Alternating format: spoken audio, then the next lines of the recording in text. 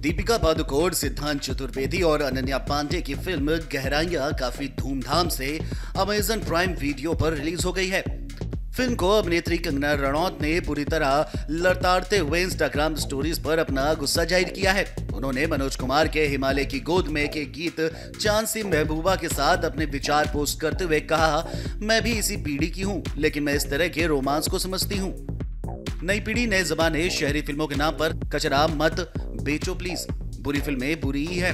कोई भी skin show या पोनोग्राफी से बचा नहीं सकती। ये एक बुनियादी तथ्य है। कोई गहराइयाँ वाली बात नहीं है।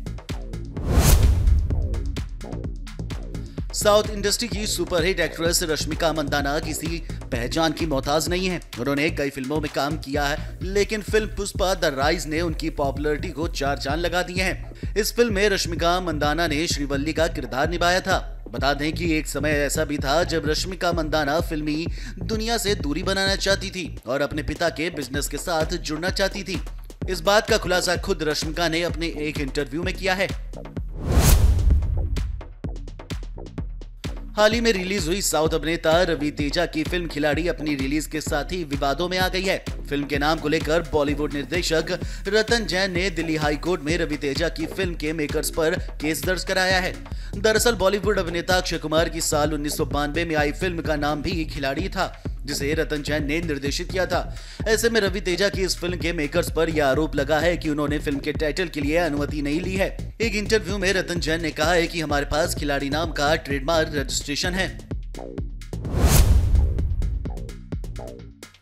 बॉलीवुड अभिनेत्री भूमि पेंडेकर और अभिनेता राजकुमार राव स्टारर फ़िल्म बधाई दो सिनेमाघरों में रिलीज़ हो चुकी है। अपने रिलीज़ के साथ ही ये फ़िल्म इन दिनों चर्चा में भी बनी हुई है।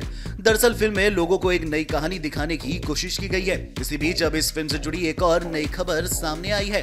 राजकुमार राव और भूमि पेंडनेकर की फ़िल्म बधाई दो जल्द संयुक्त अरब अमीरात यानी यूएई में रिलीज़ होने वाली है। सेंसर सर्टिफिकेट हासिल करने के बाद अब यह फ़िल्म यूएई में 21 वर्ष से ज़्यादा के उम्र के लोगों के लिए सिर्फ़ नाइट शो में दिखाई जाएगी।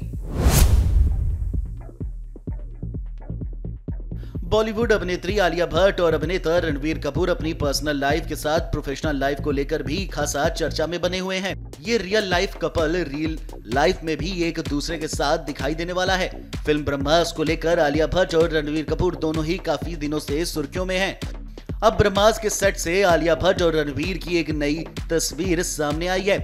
तस्वीर में रणवीर यानी ब्रह्मास का शिवा आलिया यानी ईशा की आँखों में टकटकी लगाए नज़र आ रहा है। फैंस को यह तस्वीर बेहद पसंद आ रही है। Video desk Amar Ujala dot com. Download करें अमर उजाला ऐप और पाए खबरें लगातार। अगर आप ये वीडियो YouTube पर देख रहे हैं तो हमारे चैनल को सब्सक्राइब करें और बेल आइकन को दबाना ना भूलें। अगर आप फेसबुक पर यह वीडियो देख रहे हैं तो हमारे पेज को लाइक करें।